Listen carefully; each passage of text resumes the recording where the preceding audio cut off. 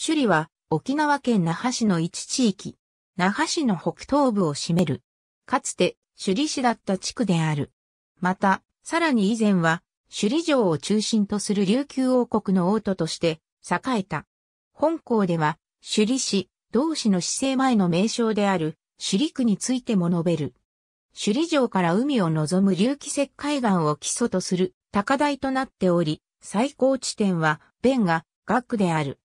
三号聖因とする石灰岩は雨水の透水性が高く、沖縄本島は灌漑に悩まされてきたが、首里一帯ではその下に地下水を通しにくい泥岩層がある。このため、那覇市で約120カ所ある湧水や井戸の多くが首里に所在し、こうした水の瓶が王都が築かれた理由の一つと推測されている。また、泡盛の名産地となっている。海抜100メートル程度の高台となる立地を活かし、NTT ドコモの首里収容局、FM 沖縄新川放送所、移動無線中継局などの無線送信、中継の拠点がある。なお、かつては、崎山町に沖縄テレビラジオ沖縄の放送所もあった。2006年6月12日、首里鳥堀町で大雨による大規模な地盤沈下が発生し、上部にあったマンション敷地に陥没が生じ、居住不能となった。弁が学から撮影した首里市街のパノラマ写真首里城、静電大正期の首里山が昭和戦前期の首里、市営バス首里城を中心として、政治都市として形成され、かつては那覇四町に対し、首里三平等と称された。首里の三平等は、町の連合組織となる回しの平等、ハエの平等、西の平等の三つを指し、回し、道端、トゥンジュムイ、赤ビラなど、約20の町が含まれていた。首里市は、かつて存在した日本の市。1954年9月1日、那覇市への編入合併により消滅した。首里市の歴史首里市に隣接していた自治体浦添村、西原村、回し村、ハエバル村、旧、那覇市役所首里市所首里区長特記なき場合、那覇市議会市第一貫通社編による、首里市長沖縄県立芸術大学以下に挙げる学校が地域内にある。このほか、予備校や学習塾も多く立地している。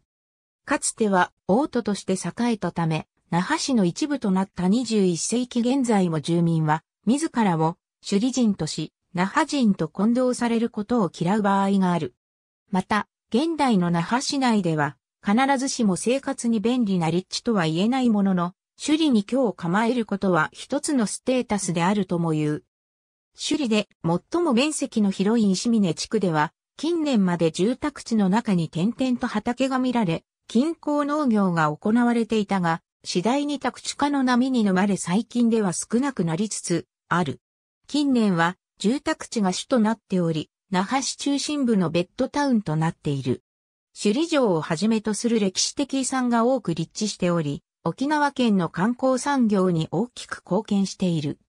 近代的な製造業などについて特筆すべき点はないが、王府が置かれた歴史的な背景から、瓶型や首里花織といった伝統工芸の作業場が散在する。また、坂は王国時代より戦前まで泡盛の一大生産地となっていた。